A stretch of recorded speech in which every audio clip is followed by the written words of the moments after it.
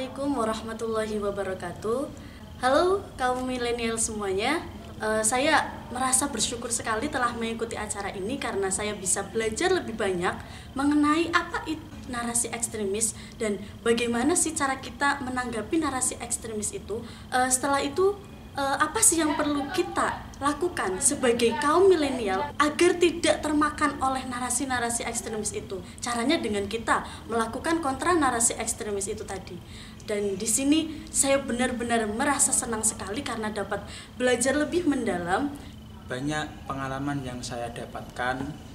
Salah satunya saya mengerti dan paham bagaimana cara untuk eh, untuk meluruskan narasi-narasi ekstremis yang berseliweran di sosial media khususnya. Khususnya kaum milenial mari kita bersama-sama untuk memerangi tidak hanya di dunia nyata akan tetapi merambah di dunia sosial media. Perkenalkan, nama saya Yasina Fitria Romadoni, eh, berasal dari Pondok Pesantren Asodikiyah Sawah Besar Semarang. Eh, hari ini, alhamdulillah, saya telah mendapatkan eh, berbagai ilmu dari mengikuti adanya pesantren for, for Peace yang yang diselenggarakan di Semarang.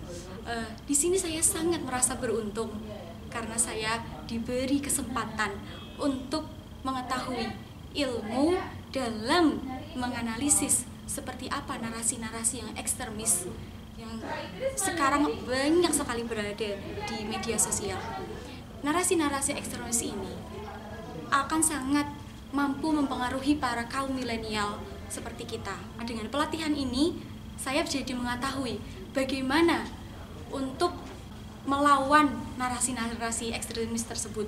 Perkenalkan nama saya Rian Hidayatullah, delegasi dari Pondok Pesantren Sirajul Talib ini. Yang melihat perkembangan uh, zaman sekarang ini yang penuh dengan uh, semuanya itu seakan-akan tergantung pada uh, kegiatan-kegiatan teknologi yang terutama itu pada sosial media. Jadi di sosial media sendiri itu banyak sekali ujaran-ujaran kebencian ataupun narasi-narasi ekstremis. Nah, di sini saya menemukan bagaimana untuk menyikapi uh, fenomena-fenomena tersebut. Fenomena-fenomena yang akan membawakan atau membawa kita kepada perpecahan. Oleh karena itu, kegiatan ini menurut saya itu sangat uh, membantu, sangat uh, mendukung atau sangat bermanfaat bagi santri-santri uh, di Indonesia. Ya, perkenalkan nama saya Indrawan Krismanto dari perwakilan Pondok Pesantren Aluda Petak, Kecamatan Susukan, Kabupaten Semarang. Kami sebelumnya terbilang kami hanyut dalam opini-opini yang sedang berkembang di masyarakat luas sekarang ini, yaitu apa?